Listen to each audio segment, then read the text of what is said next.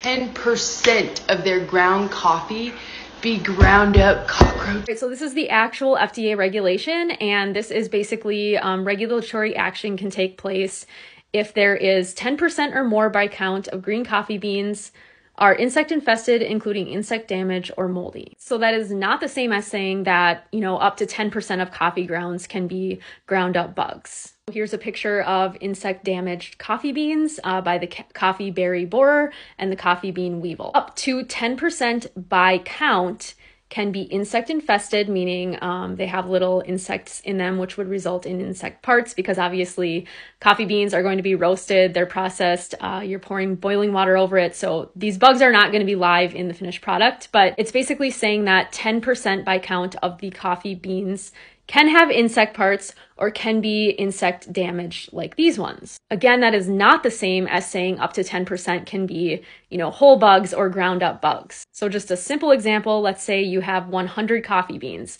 10 of those coffee beans could be insect damaged or could potentially have insect parts in them. That's also not saying that, you know, 10% of all coffee or all ground coffee is insect damaged. That's just the regulation where they will take action above that threshold and further processing will need to remove those coffee beans or remove those insect parts if it exceeds that 10% by count of green coffee beans. All right, now the mold thing, because I know some people are going to ask questions about that because I mentioned that can be a part of that 10%. So, yes, mold can occur during the curing, drying, and storage periods of green coffee. So, again, roasting the beans helps to kill molds that produce mycotoxins. Remember, these uh, 10% numbers are based on green coffee beans, so that is before roasting. In addition to that, if they exceed a certain level, they will be discarded. I know a lot of this sounds gross and sounds like the tolerance should be zero, but that's just not practical. And if that were the case, we would need to be dousing these things in pesticides and fungicides and or just throwing away a lot of product, which would